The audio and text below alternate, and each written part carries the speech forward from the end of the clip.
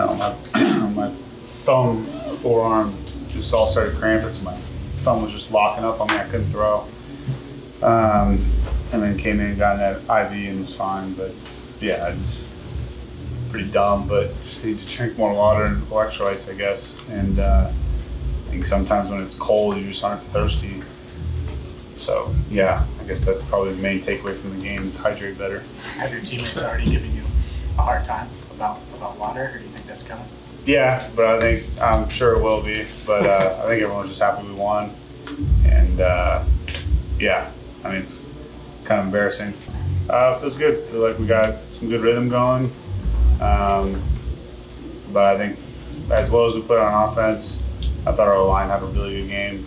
No sacks, a couple explosive screens, ran the ball for 100 plus yards.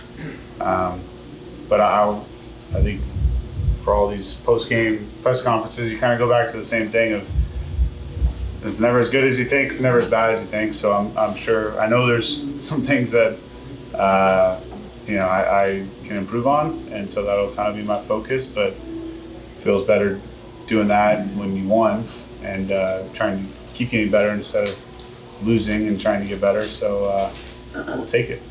Threw a bad pass to Tanner. He tried to make a play on it. Need to throw it to him in the chest, um, and they return it for a pick six. So that was, uh, yeah, it was tough, but I think coming into halftime was, my thought process was the only time that they haven't stopped us is when I threw it to the other team. And so just don't do that and move the ball well.